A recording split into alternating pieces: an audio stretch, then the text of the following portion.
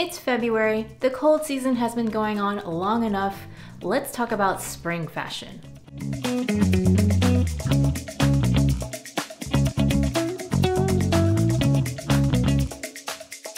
Hi, my name is Sarah, and welcome to my channel which is all about sewing and styling a handmade wardrobe.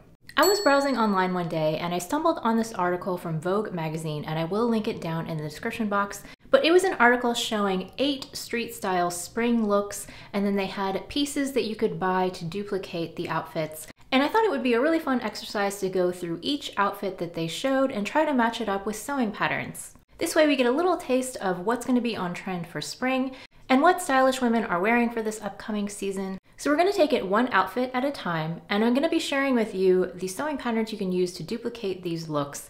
But I will not be talking about fabric because fabric is such a personal thing to each individual person. But I'm sure that no matter where you are in the world or your budget, you can probably find similar things to match these looks. So let's get started with outfit number one. This first outfit is titled Leopard Trench plus White Tee plus Baggy Jeans equals Classically Catty.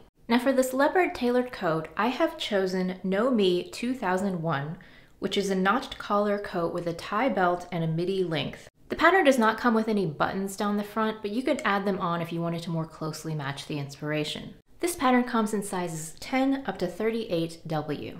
I will be linking all of the patterns down in the description box below, so if you want more information about the sizing, I would definitely check out their website for that information. For the white tee, I went with one of my favorite patterns. It's the Closet Core tee. It's a free pattern for a boxy short sleeve t-shirt. You can also make it with three quarter sleeves. And the Closet Core tee has two different lengths, a more cropped length and then a longer length. This pattern comes in sizes 0 to 20 and also 14 to 32, and as I said, it is free. I've sewn this pattern three different times myself and I really like it. It's one of my favorite boxy tee patterns, so I would definitely recommend trying it out if you haven't already. Now for the jeans, it has that crisscross waist detail, and so I wasn't able to find a sewing pattern per se, but I did find a tutorial for refashioning a pair of baggy jeans. It's from the blog Schimiggy Reviews, DIY crisscross jeans. And in the tutorial, they recommend that you start with jeans that are two to three sizes bigger than your natural waist. I haven't ever done anything like this myself. I do have one pair of ready to wear crisscross jeans. And to be honest with you, I don't really like that style on me in particular. But if it's a look you're interested in trying out, it is very trendy. I did look at the tutorial and it looks relatively simple and it would be a good use of an old pair of jeans that doesn't fit you anymore, or you could go to the thrift store. So it could be an economical way to try out a new style. Moving on to outfit number two, which is a car coat plus dainty collar plus swing skirt equals schoolgirl chic. Now starting with the coat, I have chosen the Papercut Patterns Stacker Jacket because it is a boxy cropped jacket that has wide sleeves. If you made it in a wool fabric, it would look very similar to the one in the photo. This pattern comes in sizes 1 to 8.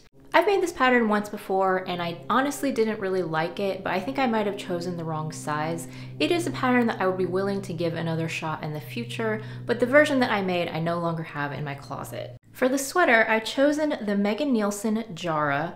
It comes in sizes 0 to 20 and also 14 to 30, and it has several different views. To make a sweater that's similar to the one in Vogue, I would make the view that has a curved hem and a round neckline, and I would use a red sweater knit. This is another pattern that I do own and I've made it myself several times. I highly recommend it. It's really popular in the sewing community for a reason. And then for the skirt, I've chosen the Just Patterns Lara skirt.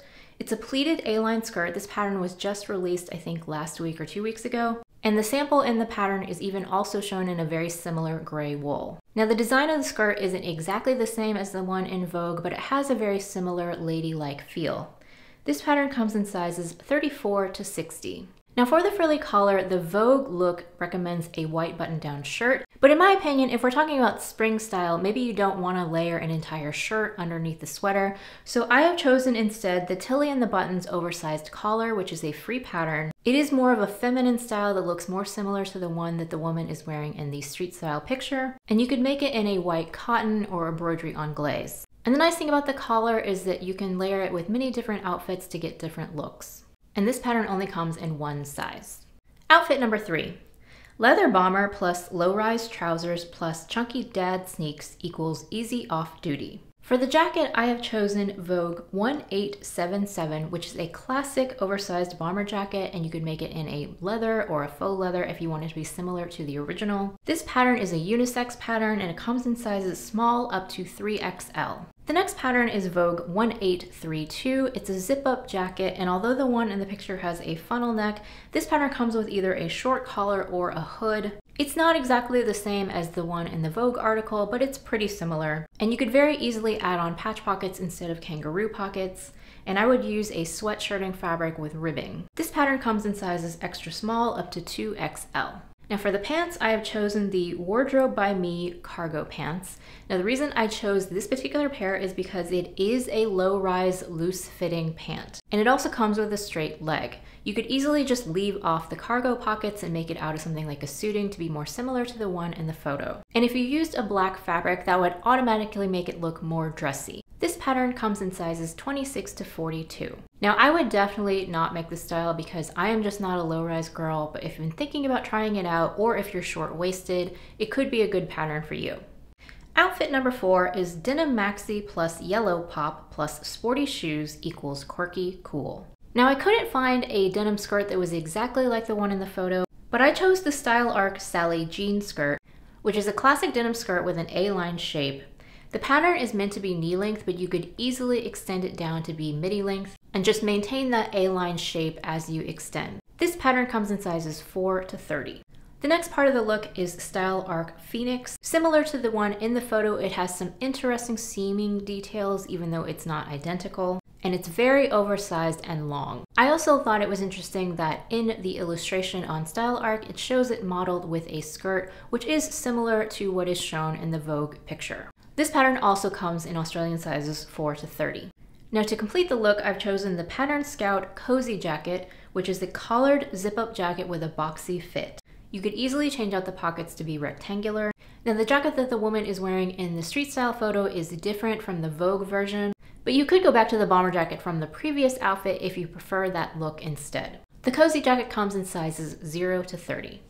Outfit number five is a shacket plus baggy denim plus ballet flats equals tomboy meets girl. Now the jeans that I have chosen are the I Am Patterns Sunshine jeans because they are a baggy fit jean with a slight barrel shape. This pattern comes in sizes 34 to 52 in PDF and 36 to 46 in paper.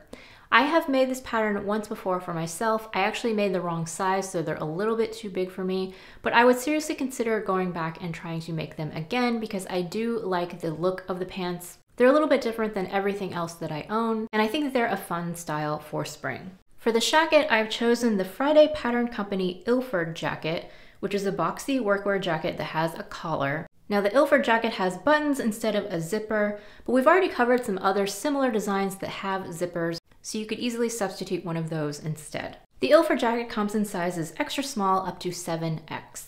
And then I did find a bag pattern that is similar to the one in the photo. It's from I Think Sew, and it's called the Elena Hobo bag. The shape and size of the bag are quite similar to the version in the Vogue article. You could make it in a black leather or faux leather. It closes with a magnetic snap and it has an interior zipper pocket and it looks relatively simple to sew. Bigger slouchy bags are making a comeback, so it might be time to dust off your machine and make a new one for yourself this year. And this pattern only comes in one size.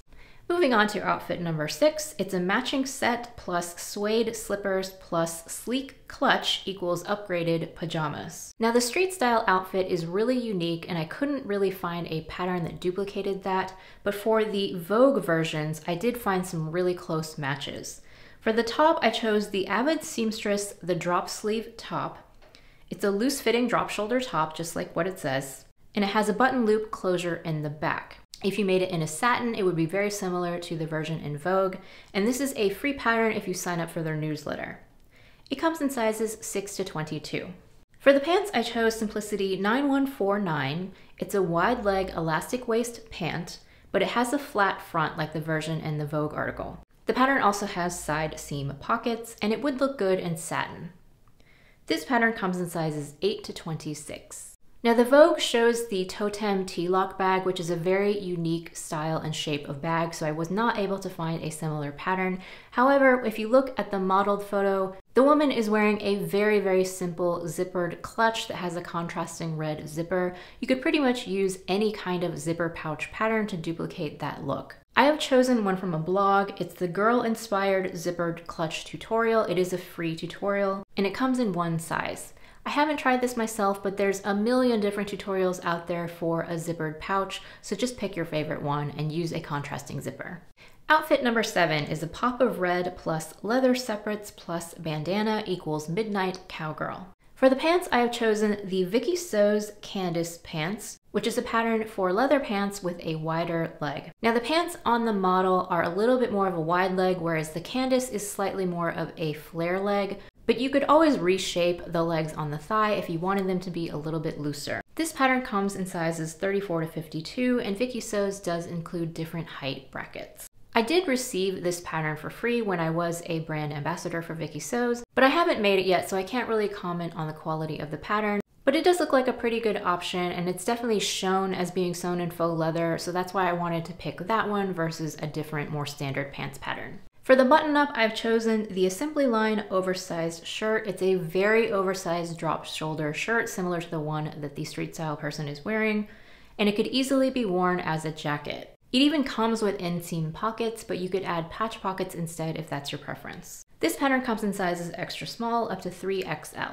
For the tee, I have chosen Simplicity 9337. It's a very oversized unisex t-shirt. I have sewn this pattern before a couple of times for my husband and he really likes it. It comes in sizes extra small up to extra large and I chose this t-shirt pattern because it has really wide sleeves, very similar to the one in the Vogue article. And lastly for the accessory, I've chosen another free tutorial. It's from Beginner Sewing Projects, How to Sew a Bandana. This would be a really quick, easy, simple project and it's a good one for using up your scraps. Outfit number eight is a classic trench plus a gray sweatshirt plus bootcut jeans equals effortless elegance. For the coat, I've chosen McCall's 8246. It's a very similar trench coat pattern that's double-breasted and has raglan sleeves. It has a tie belt and it has the little sleeve belts. It comes in sizes 6 to 24. For the sweatshirt, I've chosen NH Patterns Heather Sweater. This is another free pattern. It's a very simple drop shoulder sweatshirt that has ribbing details. This one comes in sizes 4 to 18 and also 16 to 32. And then finally for the pants, I've chosen the Sew Over It Ultimate Jeans because it comes with a flare option. And it's a high-waisted classic 70s flare jean, which I think is a perfect match for the street style photo. This pattern comes in sizes 6 to 20 and also 18 to 30. So I hope this video has given you a little bit of inspiration on the kinds of things that you might want to sew for the spring season. If you want even more outfit inspiration, watch this video next.